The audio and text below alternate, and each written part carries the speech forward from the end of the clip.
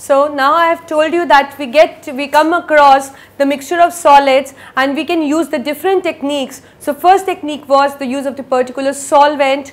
The second technique which we used is, was the property of sublimation and the third technique which we are going to use can be a special property of the solids. Like we come across the mixture of two solids in which one solid get to show some particular property but the other one do not have show uh, such property. So this is how we are going to separate uh, the mixture of solid by using a particular property that like for example I have a mixture of iron filling and sulfur. By looking at any iron uh, you can say the iron chips or iron fillings or iron nails what strike in your mind? Yeah you are right it is the magnet. So similarly, we know that the iron has the property to get attracted towards the magnet. So in the similar way, we are going to separate this iron fillings from sulfur.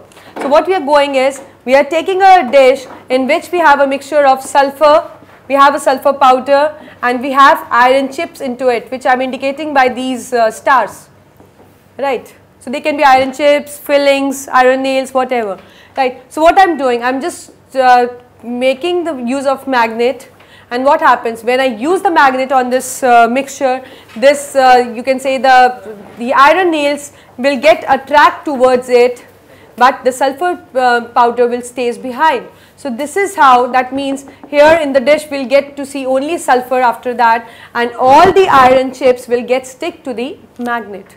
So this is how that means that uh, you can say the iron fillings are just attract with the magnet and what we are left behind in the dish is the only sulfur powder. So this is how you can use any such property which is you can so say uh, any different property which is shown by the solid and just can use it that one solid shows particular kind of property and the other do not. So similarly we did for the iron fillings and the sulfur look at the board how they did they they did by the use of magnet. We did in the same way right?